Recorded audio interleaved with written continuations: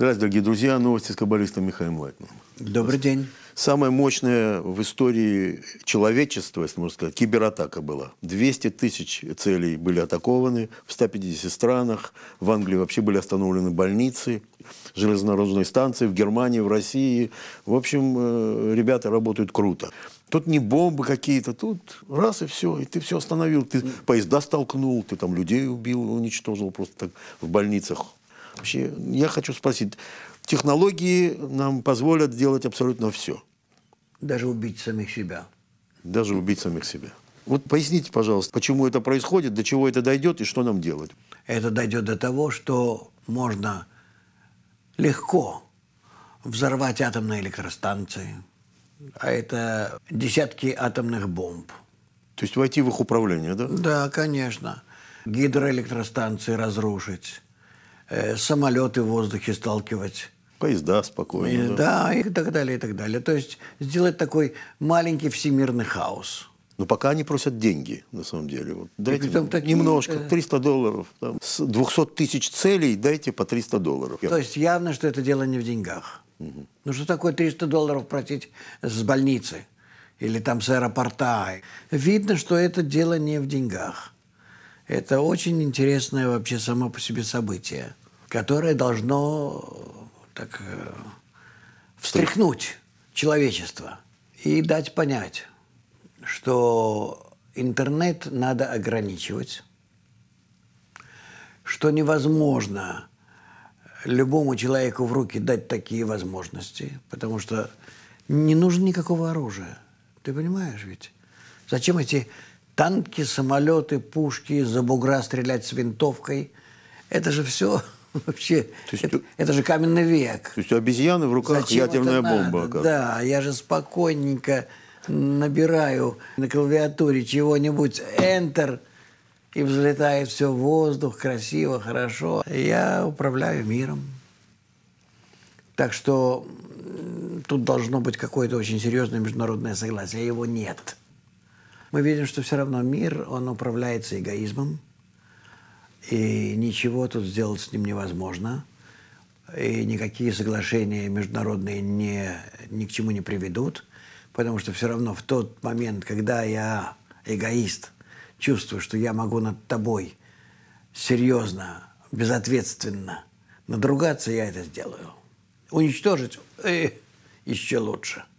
Поэтому здесь проблема в том, чтобы лечить сам источник проблемы, эгоизм наш. То есть союза между странами не, не, не- не Никаких будет. союзов быть не может и не будет. В то время, когда я смогу нарушить союз и сделать все с тобой что угодно, меня ничто не удержит. Даже если больницы остановятся, да? Ну какая мне разница, сколько у тебя? Я желаю вообще, чтобы ты исчез. А? И если можно, желательно, чтобы исчез, оставил после себя все такое, как от нейтронной бомбы, да, говорят.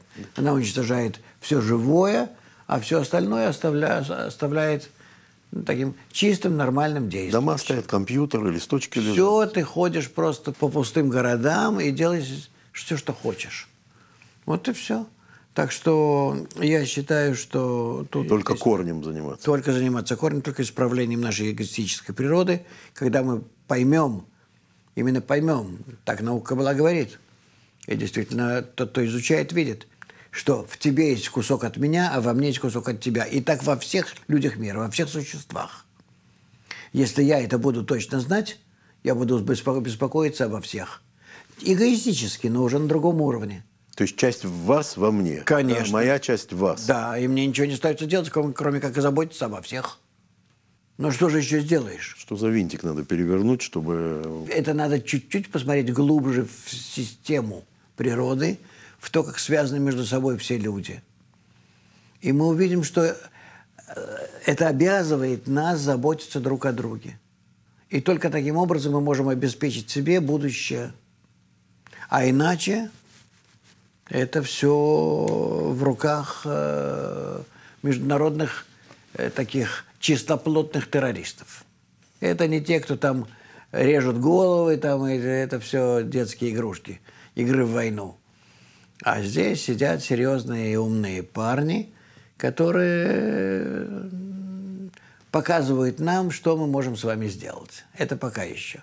Ты понимаешь, нас впереди ждет еще очень много интересных таких вот, конечно, не, не знаю даже, как это назвать. Это, в общем, э, проявлений нашего эгоизма, который нам говорит как бы, вы, ребята, должны подумать о своем будущем, если вы хотите, чтобы оно вообще было. Но дело в том, что с каждым днем компьютеры настолько входят в управление нашей жизни, что тут ничего не сделаешь. Это не просто остановить какой-то там газопровод там или что-то, международную связь отменить. Просто вот взять, взять сейчас и войти в международную связь, междугороднюю связь вообще. Отрубить все телефоны, телефоны, все, все, все, все, все. Нет связи. И что дальше?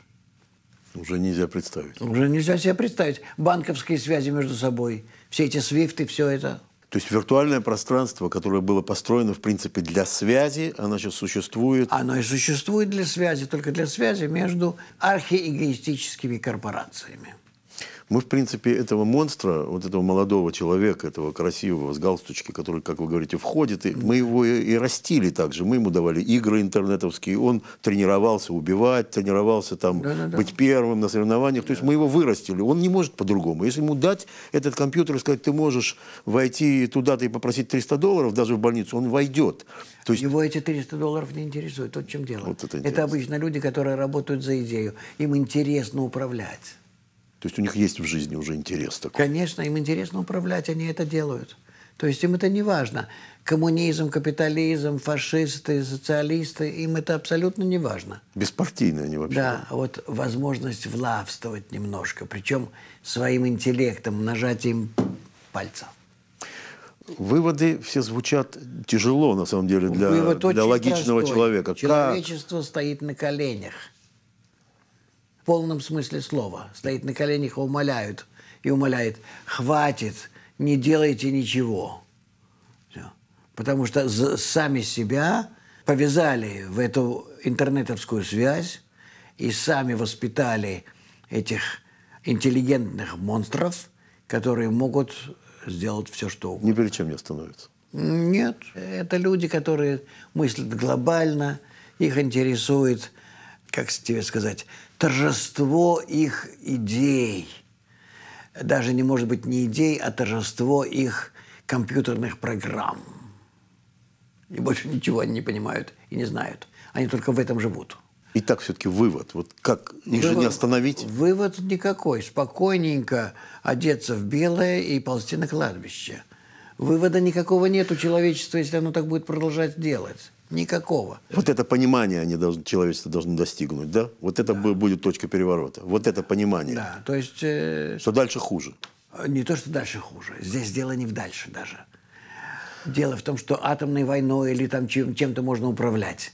Этим управлять нельзя, и ты в итоге оказываешься в постоянном страхе, который может в любую секунду просто проявиться в твоей жизни как огромное, огромное кошмарное событие. Вот как это ощутить человечество, тогда оно начнет А его научат этим. Да? эти ребята их научат.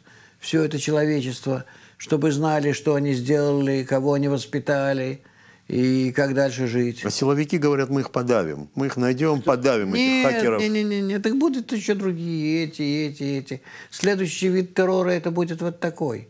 И дело не в, не, не, не в 300 долларов, им деньги не нужны. Они будут взламывать и банки, и все перечислять куда надо. Ты ни ничего не отследишь. То есть, так или иначе, мы должны заниматься корнем, и никуда мы от этого не денемся, и следствие мы не бесполезно. Природа нас научит. Я надеюсь, что люди не пострадали. И надеюсь, что это урок хороший для человечества. И оно начнет как-то осознавать лучше, что надо Что это звоночек. что-то делать. Надо что-то делать. А делать это только через систему высшего управления. Ты к этим людям не подберешься, их миллионы, их будет завтра миллиард.